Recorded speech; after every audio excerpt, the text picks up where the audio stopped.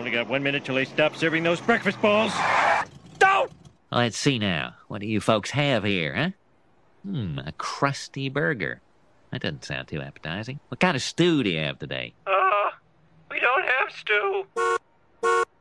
Sir, why don't you just have the cheeseburger? Well, that's really more of a weekend thing, Ray. Hey, jerk! Move your fanny! That guy's louder than World War II. Ray, go see what the rhubarb is, will you? Sir, could you pop your hood? Hey, my taxes paid for that horse.